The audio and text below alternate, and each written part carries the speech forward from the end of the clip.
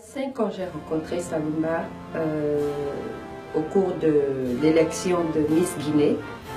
Disons que j'entendais parler et je cherchais vraiment à le connaître. Et finalement, quand je l'ai connu, j'ai pas eu de regrets parce que c'est un monsieur qui est rempli de beaucoup de sagesse et beaucoup d'amour et de partage. Donc, euh, nous avons tout de suite bandé et chaque fois que je fais un événement, parce que je suis ivoirienne et j'organise euh, un événement chaque année, je l'appelle chaque fois pour lui demander son point de vue et pour que nous soyons ensemble avec la communauté guinéenne, travailler ensemble. Il n'a jamais refusé, il a toujours été là pour nous. Et je ne suis pas guinéenne comme vous le voyez, je viens de vous le dire, je suis ivoirienne.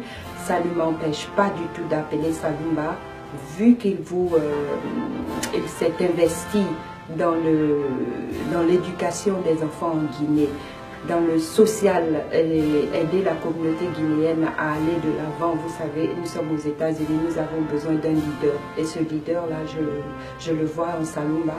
Et je vous demande surtout de ne pas hésiter, de choisir la personne de M. Saluma, de l'aider à vous aider, parce que c'est en travaillant ensemble en donnant euh, euh, euh, votre confiance en lui que nous allons tous, j'ai dit bien nous, parce que je m'ajoute à ça que nous allons tous progresser et puis essayer d'aider nos enfants qui sont ici à avoir des renseignements probants pour pouvoir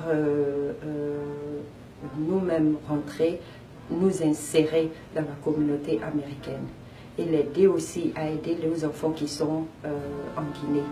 Et moi, personnellement, je n'aimerais pas que ça soit limité en Guinée parce que je vois ce qu'il fait. Donc, c'est la personne vraiment que je vous, je vous conseille. N'hésitez pas à alléger son travail et accompagnez-le dans ce qu'il vous demande.